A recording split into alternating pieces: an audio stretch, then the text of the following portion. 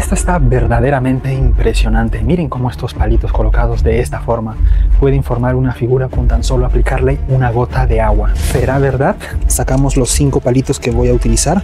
Ahora doblamos a la mitad estos cinco palitos Ya terminamos de armar los palitos. Con la ayuda de una cuchara le vamos a aplicar una gota de agua en el centro de estos palitos. Calculamos y ahí está. Como pueden ver el resultado es lento pero instantáneo. Miren cómo se va formando una figura. Pareciera como si estos palitos fueran mágicos. Este truco casero está muy impresionante. Miren cómo nos enseñan a cortar Tecnopor utilizando un encendedor. ¿Será verdad? Utilizamos un clic. Ahora el clic que hemos enderezado lo vamos a introducir de esta forma por una de las rejitas que tiene el encendedor, ¿no? Lo aseguramos con un poco de cinta y así nos estaría quedando. Lo probamos, calentamos. Una, dos, tres, cuatro, cinco. Así lo probamos. Miren.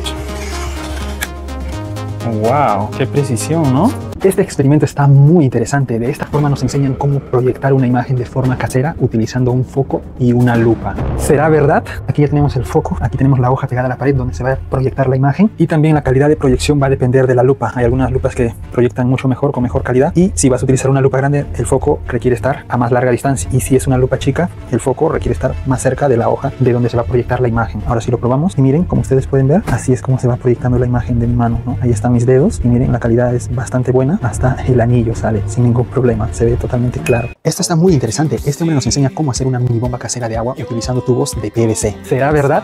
Aquí tenemos un adaptador mixto, le colocamos un pedazo de tubo de aproximadamente 8 centímetros. Introducimos la canica, en esta parte le he hecho un agujero y le vamos a colocar este tornillo. Ahora colocamos una unión mixta, introducimos esta parte que tiene rosca, va a ir en esta parte y en esta parte iría la manguera. Aquí tenemos la mini bomba casera de agua y para hacerlo funcionar lo vamos a agitar de esta forma con mucha velocidad. Y como ustedes pueden ver, el agua empieza a fluir con muy buena potencia, miren, el balde se empieza a llenar muy rápido y miren, incluso esta mini bomba casera suena muy fuerte, miren, está absorbiendo el agua con mucha potencia. Este experimento sí que está verdaderamente loco. Miren cómo formó un remolino dentro del vaso. ¿Será verdad? Agregamos medio vaso de agua, agregamos alcohol a este vaso Miren, como ustedes pueden ver, qué impresionante, ¿no? Y llegó a absorber todo el agua que había en el recipiente. Este experimento sí que está muy loco. Miren cómo el espejo puede intuir lo que hay detrás, incluso estando tapado. ¿Será verdad?